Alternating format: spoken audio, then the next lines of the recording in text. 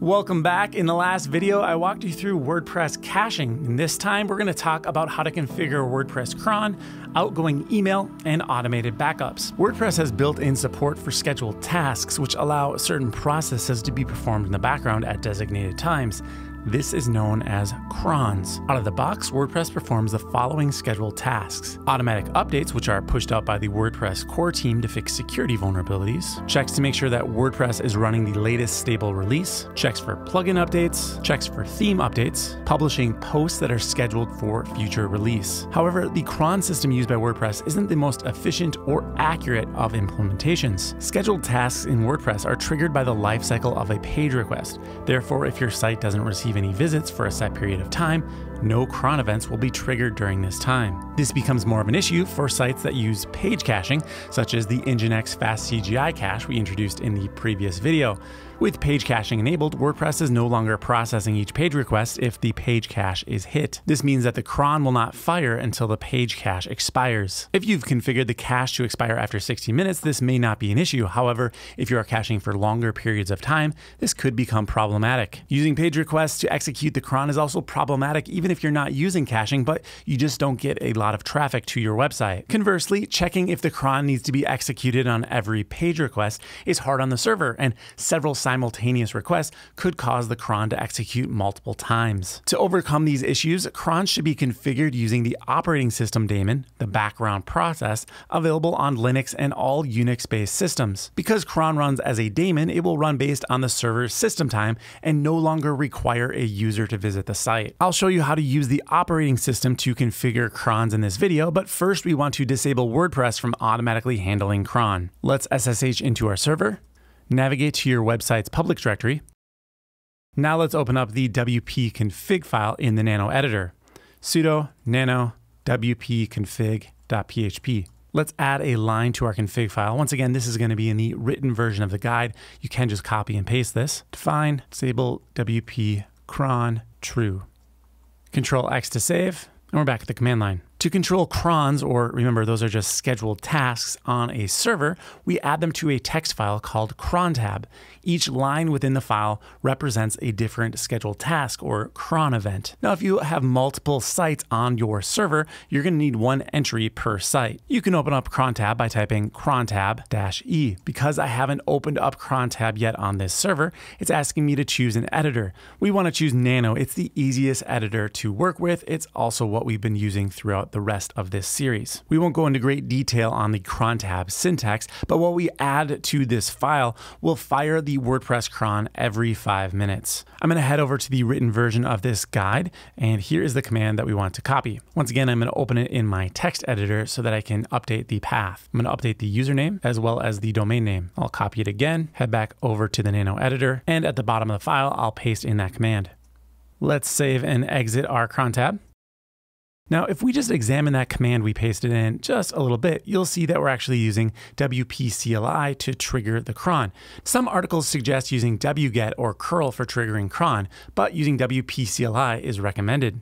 Both wget and curl make requests through Nginx and are subject to the same timeout limits as web requests. However, you may want your cron jobs to run for longer periods of time. For example, if a plugin is uploading hundreds or thousands of media objects to Amazon S3 as a background process. There's no timeout limit when running WordPress cron via WP-CLI. It will execute until complete. The dev slash null part at the end of the command here ensures that no emails are sent to the Unix user account initiating the cron job. All right, assuming you've saved and exited the Nano editor, cron is now configured using the Unix system cron tool. I'll demonstrate how to check that it's running correctly a little bit later on. Next, let's talk about email.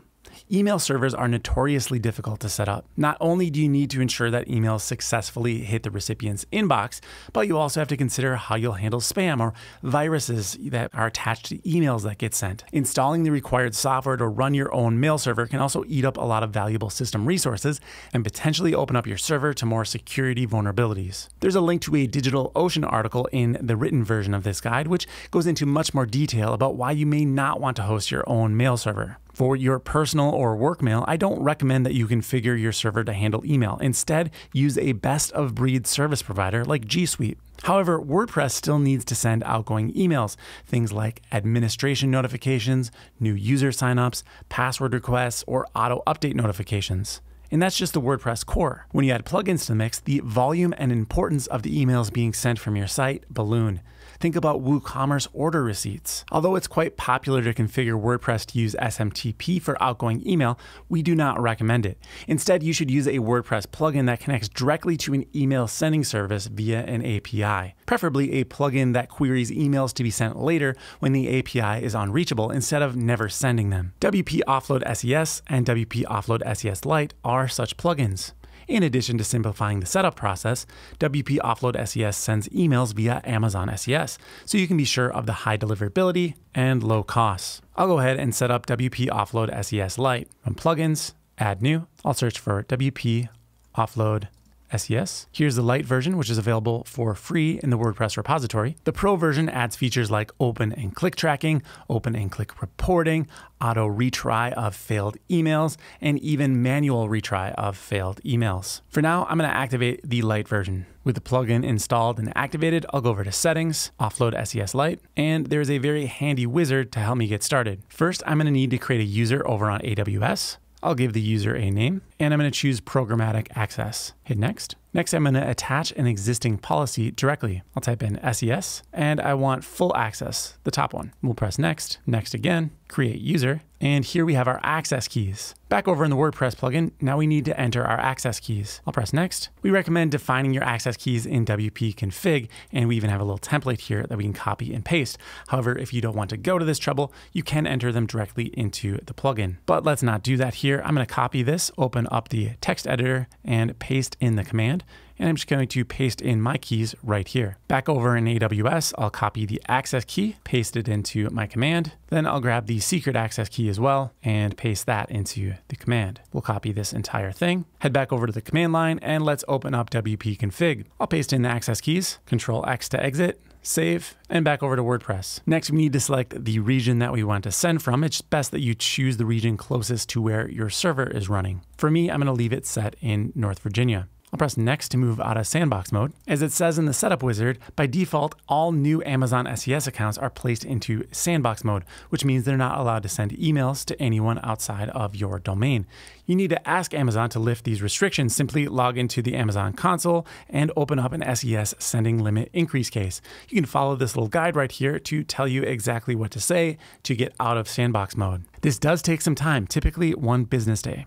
All right, let's go ahead and verify sender. Next, we need to verify the email sender. You have two options here. You can verify the domain or verify the email address. I recommend going with verifying the domain. This allows me to send an email from any address attached to the same domain. I'll go ahead and just choose the daveswift.com domain. I'll press next to complete the verification. On the next screen, I'm given a text record that I need to add to my DNS provider. I'll do that now. I'll add a new record, text record, enter in the host. Make sure you don't add your domain name at the end. You simply want to go up to the SES part for most DNS providers. Then let's grab the value and I'll paste that over here. Save our record and we should be good to go. As it says here in the wizard, it can take some time for DNS to propagate and for Amazon to verify the domain.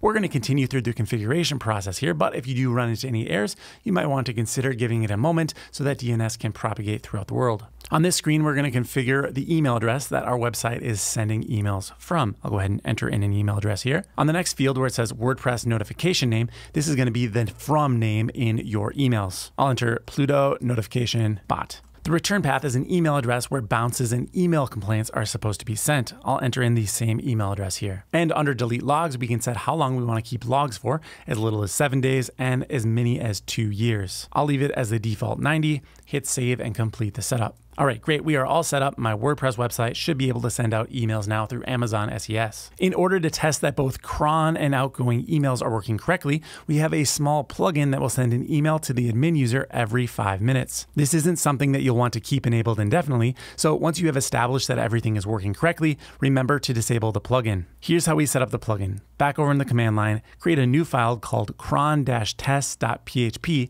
within the plugins directory of your WordPress website. Let's navigate to the plugins directory Now let's create the new file, sudo nano cron-test.php. Next, let's head over to the written version of this guide, and here is the cron test plugin that we are going to be creating. We'll copy this and paste it into our nano editor. Save and exit. Back over in WordPress, we'll go to plugins, and here is our plugin cron and email test. I'll activate it. Once you've activated the plugin, you should receive an email shortly after. If not, check out your cron tab configuration and WP offload SES settings. Next, let's talk about backups. Performing backups on a regular basis is essential. It's inevitable that at some point in the future, you're going to need to restore data, whether that is due to user error, corruption, or even a security breach. You never know what could go wrong, so having a recent backup on hand can really make your life easier as a systems administrator. There are generally two types of backups that I like to perform. The first is a full system backup, and the second is a backup of each individual site hosted on a server. Full system backups are best performed by your VPS provider, but they're not usually enabled by default. Both DigitalOcean and Linode offer this service for a nominal fee. This sort of backup is generally only used when a rare catastrophic event occurs where all of the data on your server was lost. You won't want to restore the entire system if only a single site needs restoring, hence the reason for single site backups. Single site backups only back up the items required to restore a single site, and in terms of WordPress, this usually consists of the database and the uploads directory. If you're using a plugin such as WP Offload Media, you can skip the need to back up the uploads directory as the files are automatically sent to your configured storage provider when you added them to the media library library. For many sites that aren't updated often, you might find that weekly backups are just fine. But there are situations where you'd want to perform backups more frequently. For example, you might want to perform backups on an e commerce site every few hours, depending on how often new orders are received. Let's head over to the command line and begin setting up single site backups. First, let's head to the site's root directory. Next, let's add a new directory for the backups mkdir backups. If I type ls, I can see that I now have four directories. I have the backup, the cache, the logs, and the public folder. Next, let's create a new file called backup.sh. type nano backup.sh. Let's head over to the written version of the guide, and we want to copy and paste this into the Nano editor, but of course we have to first update some directories. I'll change my username, my domain name, then copy and paste it into the Nano editor. We'll press Control X followed by Y to save. Then we just need to set the file permission so our newly created file has execute permissions. chmod u plus x space backup.sh. The last step is to schedule the backup script to run at a designated time. How are we going to do this? Of course, with a cron. Let's open up cron tab.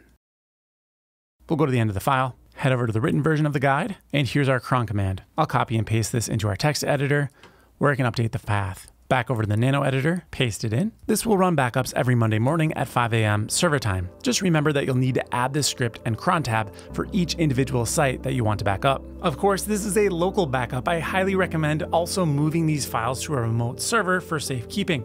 Check out Brad's post on how to set up backup files to Amazon S3 and automatically remove old backups, linked in the written version of this guide.